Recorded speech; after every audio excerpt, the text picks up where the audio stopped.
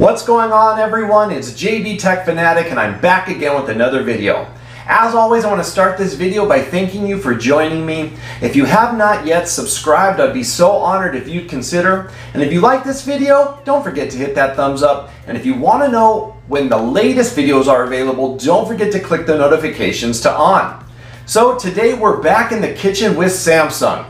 If you've been following my series on Samsung smart home appliances, you know that we've already covered the microwave, stove, dishwasher, washer, dryer, and we are now moving on to one of the most important items in our home, the refrigerator. Now, thankfully I have owned several models over the past few years, and if you want to look back through the videos, you can check them out. Now, they were the four-door flex, and they are actually still available. Now this is the latest and greatest from Samsung. I kind of put it up here on the screen. This is the 23 cubic foot smart refrigerator. Now this is the counter depth. This is, you know, if you're going for the flush look, it should be almost even with your counters. So if you want to go more space, you can go larger. Um, and they also come in stainless steel and black stainless.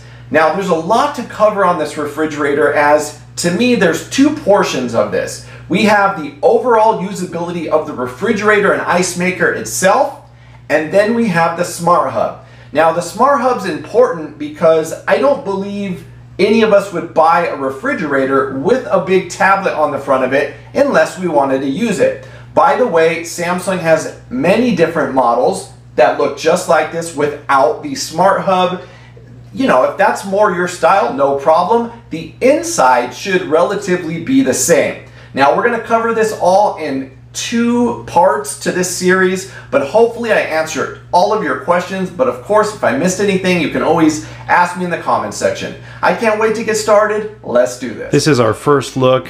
All of the packaging and the accessories have not been taken out.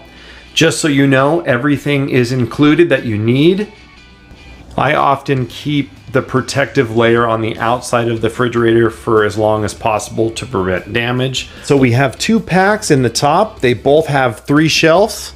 I just wanted to show you the UV deodorizing filter area as well as the triple and metal cooling. You can see that we have um, where the air comes through there, there, and there. And then of course up top, you can see that we have our lighting. We have two overhead lights, followed by the two lights on the left and right side. Here is where your water filter goes. Then you have the Flex Crisper and then the Crisper Plus drawer. These are nice. We'll talk about these more in a moment. All right, now we're taking our first look at the bottom. Of course, this is the Flex. You can use these as um, a freezer or a refrigerator. Here we have um, more of the accessories. Of course, we have two more three packs of shelves, as well as two already to go drawers. And then the wine accessory. Let me move up for you. Again, we have the wine accessory rack. Of course, you can use that for soda or whatever you'd like. A pull-out drawer. And then the best part, I think, is the ice machine. Here you can see we have the ice bits and then the cubed ice we also have two drawers for the ice, which is great. And I like that they kind of positioned it up top there. But first look, let's get this all unpacked. I just wanted to give you a close-up look of everything. Here is the Crisper Plus drawer. Here is the Flex Crisper. Now this is special as you can use this for a meat and cheese drawer. As you can see, you have the air vent in the back allowing you to change it to much colder temperatures. Water filter is easy to change. You simply open up the plastic and twist and it will pop right out. Inside you can see we have our bottom shelf. On the right, this can be cut in half, not literally cut in half, but this will fold back, allowing you more space for your bottom shelf. You can adjust these shelves up two more notches if you'd like. The top shelf the entire shelf can slide out if you would like, and you can place that on these here. So there's not a lot of adjustment going, but it looks like they've given us much more room. Close-up look of your UV deodorizing filter and your triple and metal cooling. Just everything looks like quality, very well built. Here's a close-up look at the left door. Flipping over to the other side. You got that nice Samsung branding right dead center on the top. Close-up look of the beverage center.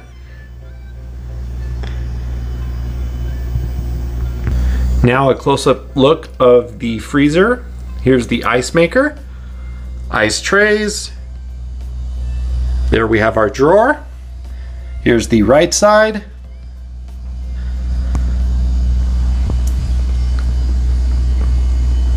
Sorry about all the wrapping there on the floor. Okay, so before I go into my setup settings, I'm just to briefly go over the Family Hub. Don't worry, I will go into detail on the Family Hub in part two. So the Family Hub is essentially Samsung's hub to control your smart home right in your kitchen. Now the hub itself is now full 1080p. It's bright and vivid. I do have a, uh, a protector over it right now, but it definitely gets bright. Um, it is touch as well as the speaker can be used for watching YouTube, streaming Netflix from your Samsung QLED TV, um, or using it for your Bixby voice, Alexa voice, and timers, as well as your Ring doorbell. So it's very useful, and I'm sure that you'll like the hub once you start using it. Now, the hub itself has apps. These apps, there's not a lot to choose from other than what's already built in. Now again, a development that they have went to from just having Bixby, they now offer Alexa. That's great. You can have both voice assistants as well as, well as your photo gallery. You can use Grubhub, um, Instacart. You have a full web browser for the internet. Um, so it's just really nice to have calendars, lots of options to put pictures and videos on the screen, um, helping you cook, bunch of different ways to give you recipes and even follow along as you cook in the kitchen, as well as the view inside function, which of course is the cameras of all of your um, items inside your refrigerator. And next here we have whatever you can't get in an app, you can actually save as a favorite from your web browser, but just stock. We have YouTube, Instagram, um, Facebook, Twitter. So it's definitely useful. We have Amazon Music, you have Pandora, iHeartRadio, and again, I put Google Music on mine. All I had to do was save it as my favorite from my web browser. Here you can have your Samsung SmartThings, which essentially is what this hub will control. I can control my other smart hub refrigerator, washer, dryer, stove, dishwasher, vacuum, thermostats, garage door, door locks, cameras, everything that is compatible with Samsung SmartThings you can control right here on your hub. Again, this is something I love. One of the best things is, is when someone rings my Ring doorbell, I actually detached my standard doorbell and it rings right out of the speaker here pulls up the video right on my hub and it's a great feature. Other than that, you can again put photos, themes, they have artwork that you can do. Overall, it's really fun to use. Oh, and one last thing, my kids love the whiteboard feature where you can draw, doodle, put stickers, and you can actually send it to your mobile devices or leave it for, you know, your wife, husband, kids. It's their birthday. It's just a really cool feature. Now we're going to go over settings of how I actually have my hub set up. And again, we'll go over more detail in part two. Now we're to get the smart hub set up. Let's be honest, there's no real reason to buy a refrigerator with a large screen on the front of it unless you plan on taking advantage. Now this can do a lot of things, but it's Samsung's idea that this will be a centrally located smart hub to control your smart home, as well as helping you with cooking, recipes, able to view what's inside with the cameras, and lots of extra things. But first, we gotta get it connected. What I recommend doing if you have not downloaded Samsung SmartThings on your mobile device, go ahead and do so now. Once that's complete, you want to make sure that your phone is connected to your Wi Fi network as well as your refrigerator. Once that's complete, you're going to see something like this. This is Samsung SmartThings. To connect it and get going, we're going to press the plus sign.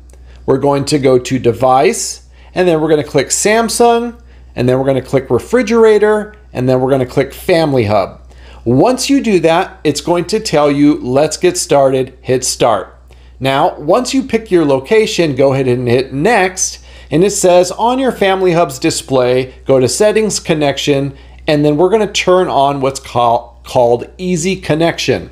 So as you see here, we have connections, we have our Wi-Fi, network status, Bluetooth and speaker, and easy connection. Go ahead and click easy connection and it gives you a simple one, two, three. Once you hit connect, you're gonna go ahead and go back to your mobile device and follow the instructions. What it's gonna do is it's going to link it to your account and it's also going to set up your smart hub and connect it to the Wi-Fi network of your choosing. Go ahead and do that now. I'm already connected, but you're going to come to the registration. Go ahead and hit continue and finish, and let's move on. I did want to make a quick mention. You're going to have to hit OK on the refrigerator as well as your device in order for them to finish fully registering your device.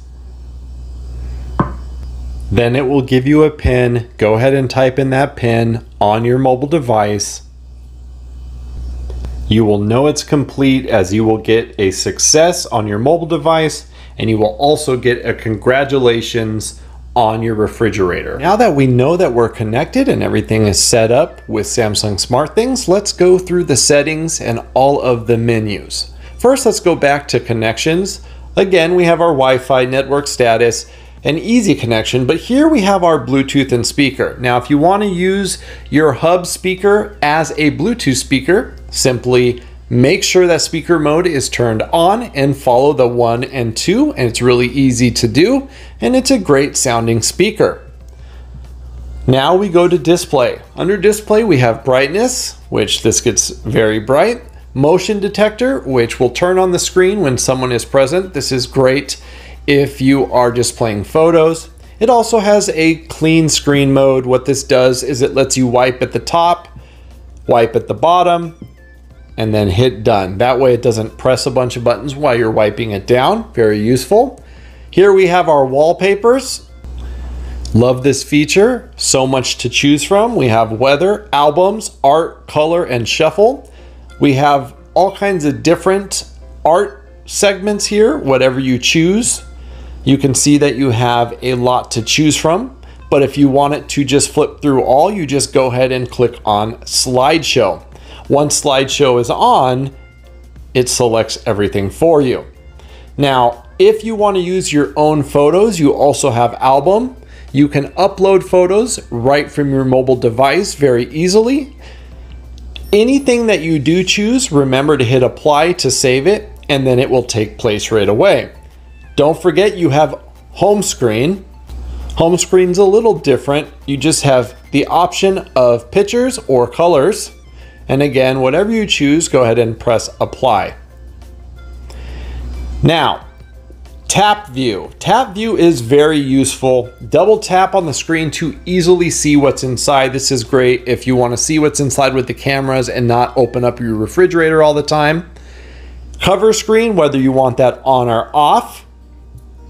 You can also start as low as 15 seconds to five minutes. And then you can go to two hours from two minutes as long as the duration last or sorry keeping it on for two hours if you want those photos just you know going through nonstop it can do that for up to two hours so that's really nice and that's pretty much it in this section Moving on, we're going to sound. Sound, we have media, um, system, and then touch sounds. If you like to have that um, feedback when you're touching the screen, go ahead and click that to on. I don't, but it's up to you. Notifications, you can choose whether you want it to preview or not. I like this on. Samsung account, that's where you would sign in and out. This needs to be done, of course, to use Samsung SmartThings. Now, Bixby Voice, here is where you would set this up. Now, you can choose the style if you want a man's voice or a woman's voice. You also can choose sound feedback, so you know when Bixby's listening and when he or she stops. This is the same thing on like a Google Home. And then of course you can set the sensitivity. So if it's going off too much, you can lower this. I just keep it at medium. All right, moving on. Security. You do have the option. So if you hit enable, you can set a pin. Once you are ready, go ahead and put in your pin, press set, and then it's done. And then you can set the restrictions for whatever you'd like. Next, we have storage.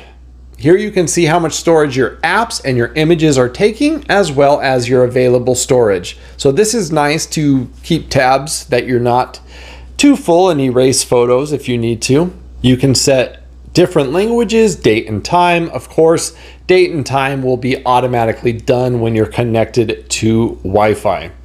Accessibility, we have the screen reader option, text to speech, you can set different size font. I like it extra huge, as they call it. You can go to grayscale, negative color. And then of course you can adjust this to whatever is best for you. About Family Hub, this is where you can check for software updates. I recommend to check and make sure that you are on the latest with which at this point you should be on Tizen 6.0. Last but not least in this section, we have the help and contact us. You have your manual, remote management, you can send feedback, so it's pretty nice. You can actually make sure that everything is running smoothly right on your hub. We are now looking at the refrigerator manager or fridge manager.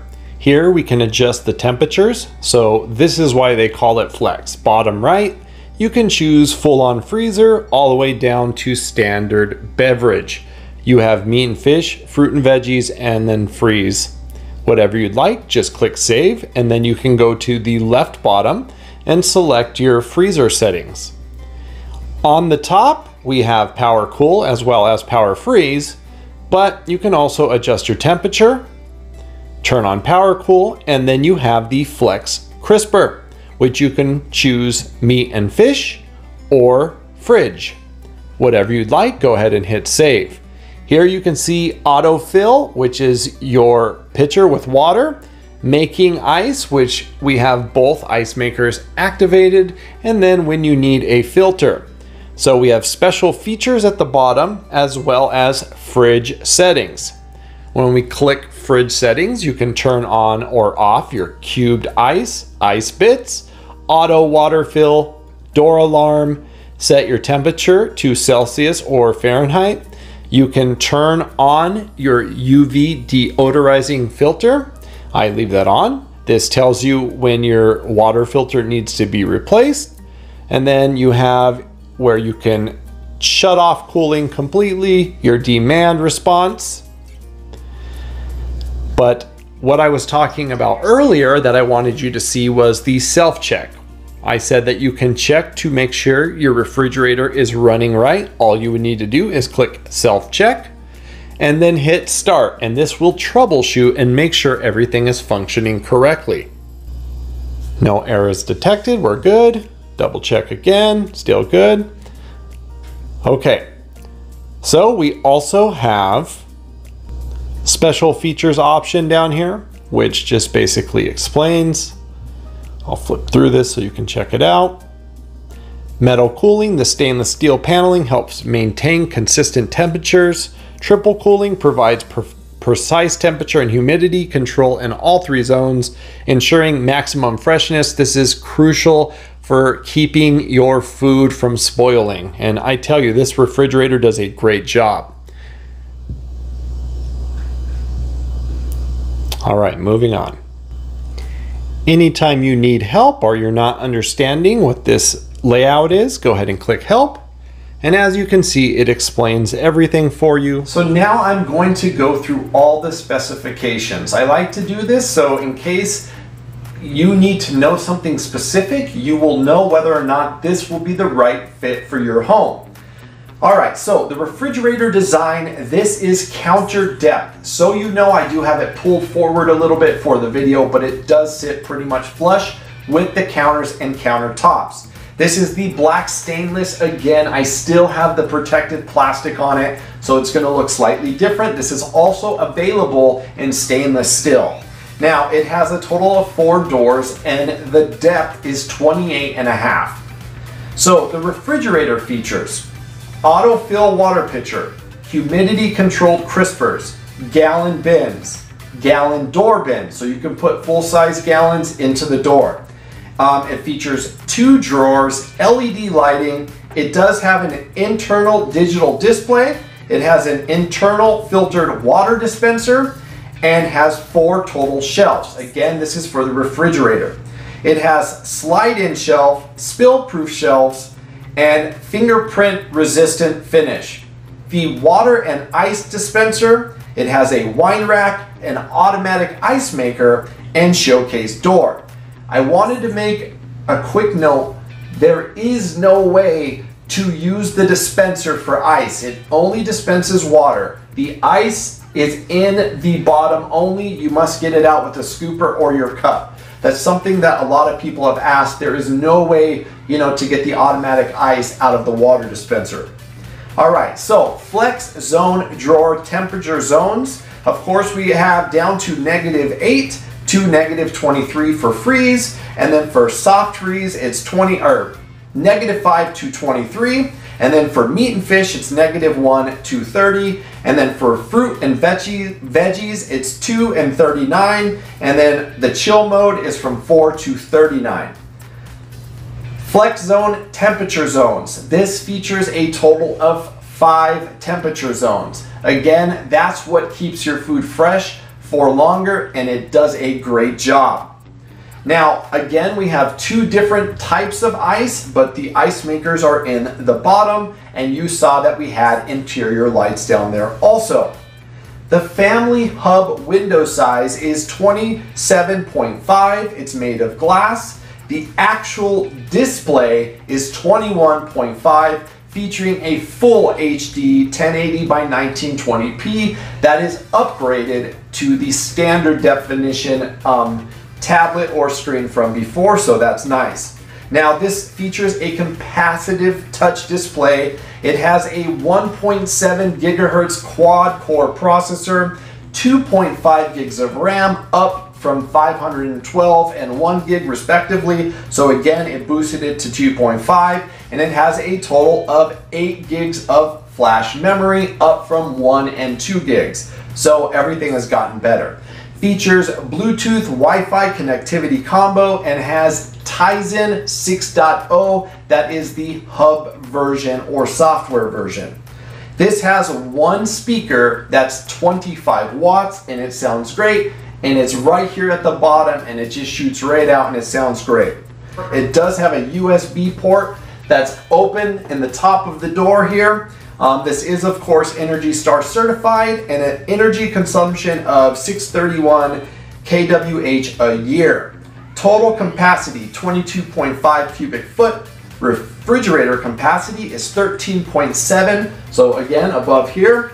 And that's if you don't decide to use this bottom, of course. Freezer capacity is 8.8 cubic foot. And then as far as product dimensions with hinges and handles, I'm not gonna read them all for you, just I'm gonna list them right here. The product weight is 337.3 pounds. Shipping weight is 359.3 pounds.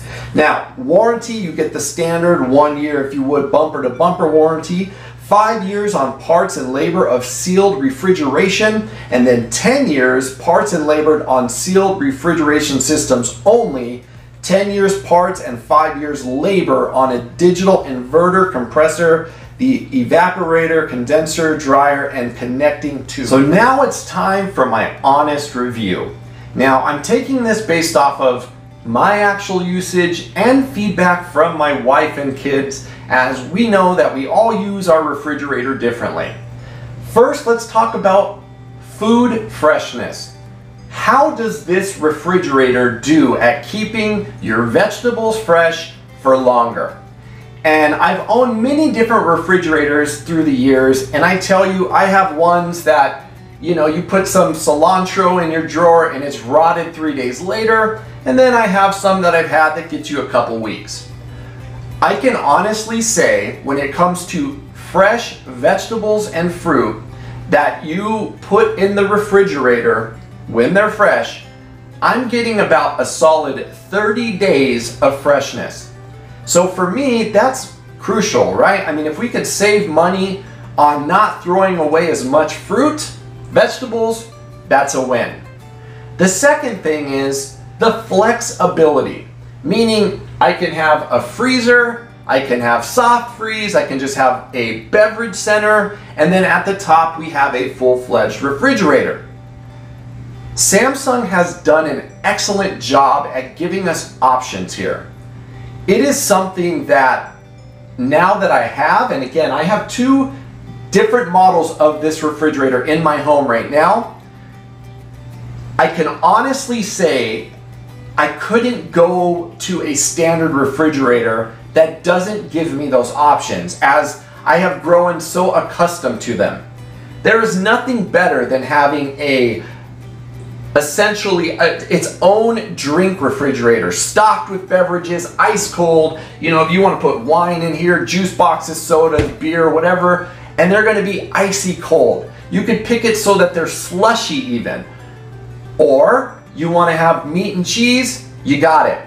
You have the ability to essentially have three products in one. A refrigerator, a wine cooler, or and or beverage cooler, and then of course a freezer.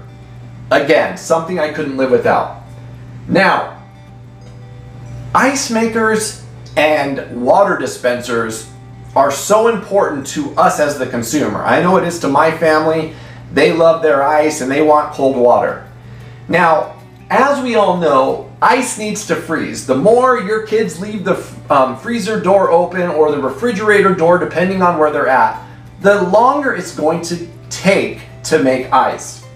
This right here is a godsend. So when you're talking about the ability to have an ice cold pitcher at any time that you can, you know, pour out and it refills itself. I put drinks that I want my kids to get to, the juices, and then fast snacks. We got some cheese snacks, yogurts, and some pastries. They don't have to leave the main refrigerator or better yet, freezer open and this is why the freezer portion with the double ice maker is crucial to my family. Now, as dumb as that might sound to you, we were always out of ice. Not only do we have tons of ice, we have two different types of ice and big storage bins so it can keep filling up. This is something that I honestly believe Samsung took the complaint of the customer and they went back and they rethought the process of making ice, getting you cold water, and so on and so forth. The other thing that you might run into on refrigerators is when you get cold water out of the spout, all of a sudden one day it won't work anymore and you wonder why. Most manufacturers wrap, you know, gosh, I've seen maybe 20 feet of tubing behind the drawers in the refrigerator. This is how you get cold water, right? The water has to be cold. So it has to be in the refrigerator, refrigerator. They give us the jug, always cold. That's going to be the temp of the refrigerator. You never have the spout breaking. You also have the ability to take that spout off and clean it if it gets, you know, a little bit of uh, hard water or whatever it might be. So again, these features so far have worked flawlessly and they're extremely useful. So, overall design of the refrigerator. Now, I am really weird about things, but I still have the plastic on here So it's gonna be much more shiny. You're probably seeing what looks like spots the plastic. I just leave it on as long as possible to keep my kids from dinging it or scratching it. But I love the flush design. Now, again, I'll show you another photo of my other refrigerator. I loved it the way it looked, but it was always dirty. It has the chrome going down the middle. Samsung again thought about the customer here and the handles are hidden down here and they're not chrome so you don't get fingerprints that's ugly. You also, because the dispenser's hidden, you don't get the water drips down, the hard water spots. Almost every refrigerator that I have owned, the water and ice center was hard water spots all over it no matter how often we cleaned it. And yes, I have a water softener. So it just feels as if Samsung really stepped back and said, look, this is what the customers want and we're gonna give it to them. Now, the price of this refrigerator is up there. But I also love the fact that with the hub, unlike most phones, Samsung, with the exception of version 1, has at this point updated all the hubs I've owned from version um, 3 on to Tizen 6.0. So essentially giving us all the new features. With those features, again, the cameras. The cameras are something that you might or might not use. I use them. It takes some time. You want to put in, like I've showed you with the Smart Hub, putting in the different um, expirations, and it gets better and better over time. But we've been at the grocery store, we forget, yeah, do we have cheese? Boom. Pull up the camera, look at it. So again, an extremely useful feature, but it might not be something that you need. For those of you that don't need the Smart Hub, buy the four-door Flex. You get all of the benefits of the refrigerator without the smart features. Now, the speaker. The speaker is a great addition in the kitchen, not just for Bluetooth music, not just to stream YouTube or something on your refrigerator, but for cooking. Having a cookbook being read to you um, in cook mode, having it tell you step by step what to do. It's just something that's so nice to have right here. The timer, the ability to turn on the oven from the refrigerator. Even though the, the oven is right next to you, it's just nice to have this big display right here to set it up on. All in all, this is a refrigerator I highly recommend. There is one thing I will say, and this is with all appliances and technology. Buy an extended warranty. If you buy a five-year extended warranty, the chances that you will use it and it will more than pay for itself are literally like 99%. And when you have more technology, there's always a drawback to that, right? More problems. The old washers and dryers lasted for 15 years. The new ones don't seem to last more than two. It's almost the more tech in something, the more problems. But if you buy the extended warranty, you can thoroughly enjoy this and have your cake and eat it too. So this refrigerator, I highly recommend. I love it. It's beautiful. It has all the features that I need. It keeps my food fresh. It keeps everything nice and frozen and it is just a great product. That pretty much concludes part one on Samsung's brand new smart four-door flex. Now, don't forget to check out part two as we will continue to dig deeper into the Smart Hub and hopefully cover everything that you want to know. As always, I'd like to slow things down for a moment and remind you life is so short. Don't forget to love your family, love your neighbor, the world is a mess right now, and the only people that can change it is you and I. And it's amazing to me how if we just go out and do a small act of kindness, how much of a change we can actually make. I want to remind you, I do YouTube for you and you only, so if you need me, reach me in the comment section. You can also come follow me on social media sites, Facebook, Instagram, TikTok, Twitter, at JB Tech Fanatic. I'll be glad to answer any questions I can for you over there. But of course, the best way to reach me is in the comment section. I just want to say thank you, invite you to subscribe one last time. I can't wait to see you in the next video and talk to you in the comments. And until then, I'm JB Tech Fanatic, and I'm out. Peace.